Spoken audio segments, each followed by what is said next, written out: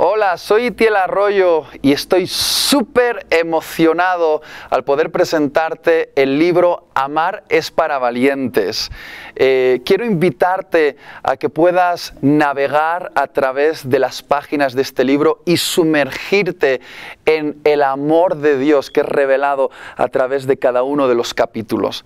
Eh, muchos me habéis hecho la pregunta de qué trata el libro. Déjame decirte primero ¿De qué no trata el libro? No es un libro acerca de noviazgo. No tiene nada que ver con eso. Yo sé que tengo muchos talleres acerca de noviazgo colgados en la red, en YouTube y en, otras plataformas, pero este libro no es un libro acerca de noviazgo. Este libro es un libro acerca del amor verdadero.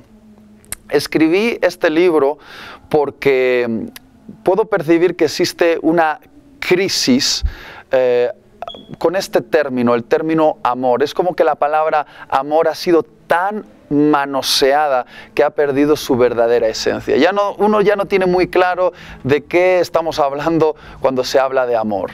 No sé si estamos hablando de sentimientos o de biología o, o de una pasión que sentimos por algo.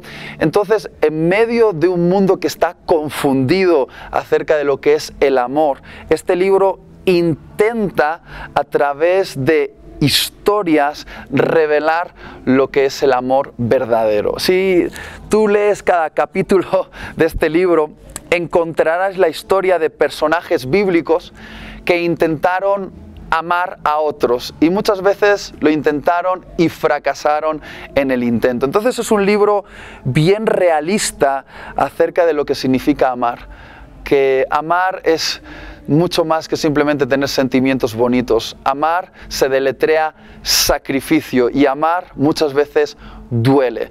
Por eso cada capítulo termina apuntando a Jesús, el único que realmente nos demostró lo que es el amor verdadero, el único que encarnó el amor en este mundo. Y mi deseo es que cuando termines de leer este libro puedas llegar a entender la historia del Evangelio, la historia del amor más abrumador de todo el universo. Un amor que ha inspirado a los poetas, ha, hecho componer canciones a los músicos, ha hecho aplaudir a los niños, confundirse a los científicos. Un amor que sigue inspirando a los teólogos. El amor de Jesús. Espero que cuando termines de leer este libro te sientas tan, tan, tan amado que ese amor te haga eh, tener el poder para convertirte en un amante en medio de un mundo que no sabe amar.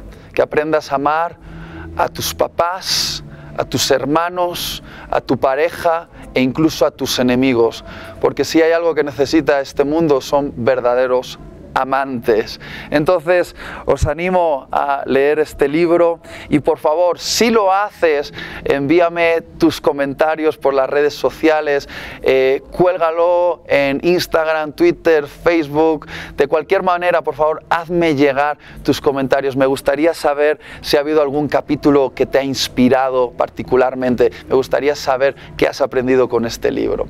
Te mando un abrazo y espero que este libro te convierta en un amante.